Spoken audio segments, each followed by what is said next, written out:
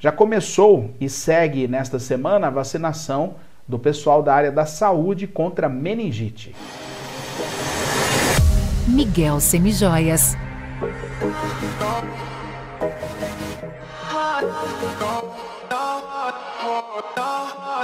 Semijoias.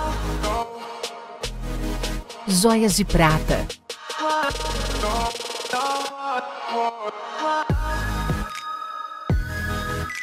Joias de aço.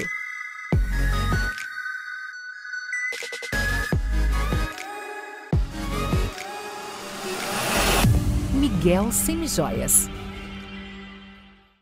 Isso, é, o governo está fazendo uma campanha para todos os trabalhadores de saúde.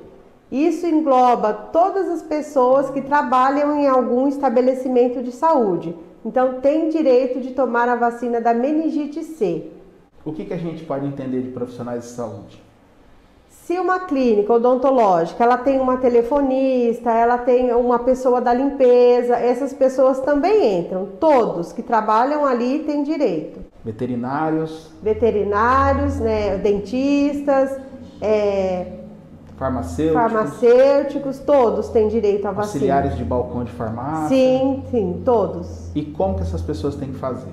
Devem procurar aqui a sala de vacina, somente aqui, né? Trazer algum comprovante que ela realmente trabalha no estabelecimento de saúde e tomar a vacina. Existe alguma contraindicação ou se a pessoa tiver com alguma gripe, alguma coisa não pode tomar? Como que funciona? Não, não. Pode comparecer e tomar todos. E qual o prazo, Dri?